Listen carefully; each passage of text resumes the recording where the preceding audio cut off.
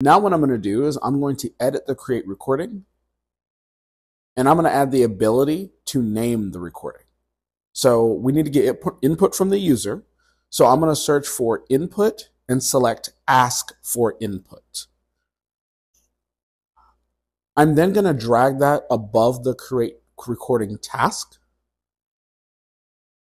I'm then going to select the prompt and I'm going to change the default answer to current date. And I'm going to save it to that format or set the format as I did before, a long for the date and a medium for the time. So if the user decides they don't want to name the file, it will use the current date as before. I'll then change the actual prompt text, which will be name of recording. And then what I'll do in the create recording step, I'll click current date and I'll change that to provided input. That